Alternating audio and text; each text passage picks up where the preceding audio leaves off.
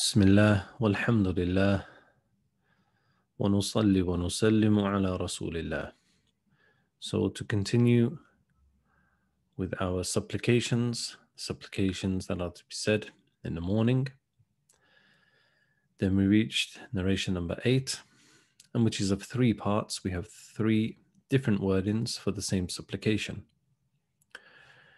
So it was reported by Abu Dawud in hadith number 5077 from Abu Ayyash radiallahu an that Allah's Messenger sallallahu alaihi wasallam said, Whoever says in the morning, لا إله إلا الله وحده لا شريك له له الملك وله الحمد وهو على كل شيء قدير To read it again. So whoever says in the morning, لا إله إلا الله وحده لا شريك له له الملك وله الحمد وهو على كل شيء قدير. So to go for the meaning, then whoever says in the morning, La ilaha illallah. None has the right to be wor- to be worshipped except Allah. Wahdahu, alone. La sharika lah, having no partner. Lahul mulk, sovereignty is His. Walahul hamd, and all praise is for Him.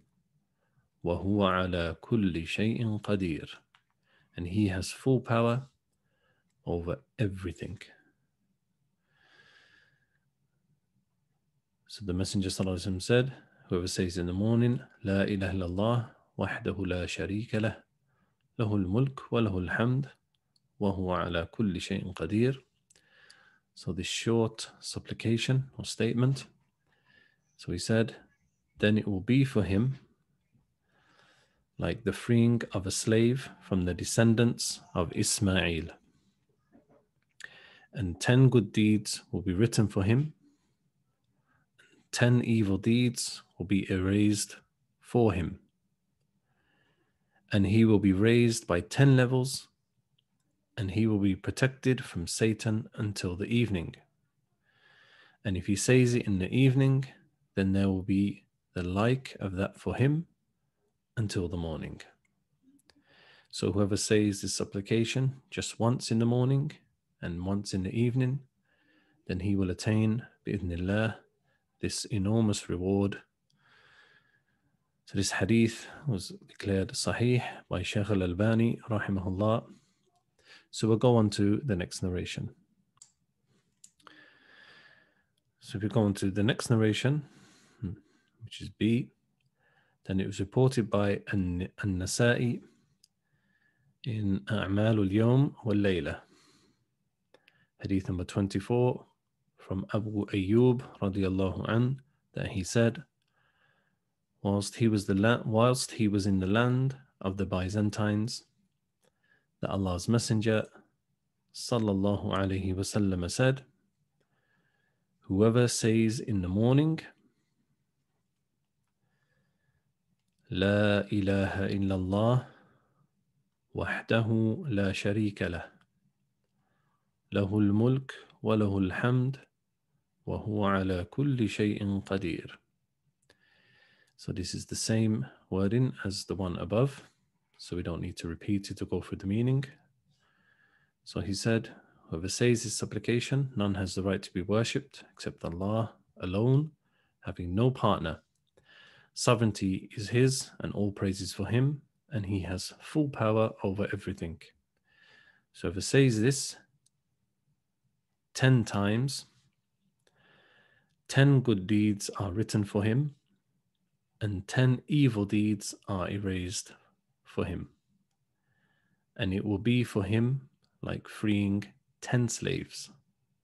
And Allah will protect him from Satan. And whoever says it in the evening, then there will be the like of it for him. So it's the same uh, hadith above, but this time, so the hadith above was saying it once, and this hadith is saying it 10 times, where a person will have 10 good deeds and 10 evil deeds erased from him. So this was declared Sahih by Shaykh al-Albani in Sahihatul al-Taghrib, al-Targhib, hadith number 660. So we move to the, the next and the final narration, C.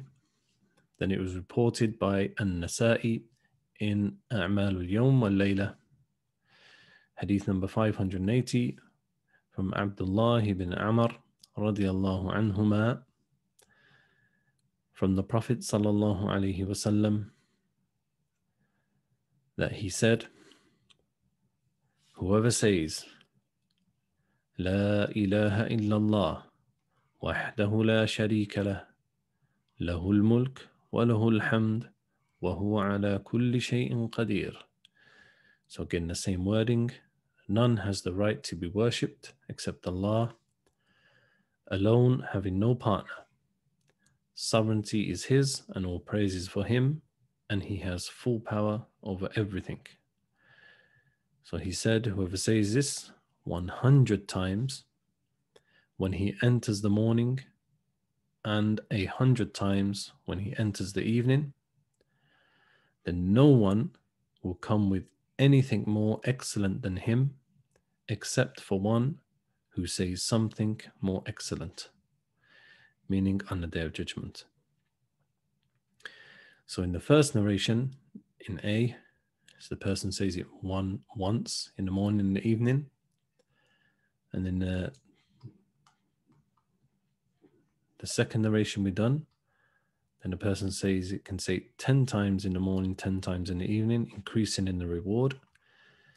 And in this narration, the Prophet ﷺ mentioned that if a person says it 100 times in the morning, 100 times in the evening, then no one will come with anything more excellent than him, except for one who says something more excellent. So this hadith, Sheikh Al-Albani said in his book As-Sahiha, hadith number 2762, its chain of narration is Hassan. So as we can clearly see, a very short supplication or statement said by the Messenger Sallallahu Alaihi Wasallam, which carries a huge reward, easy to say, even if a person, person say it just once, but is constant upon that in the morning and evening, then he shall receive a huge reward. بإذن الله هذا وصلى الله عليه وسلم وآخر دعوانا أن الحمد لله رب العالمين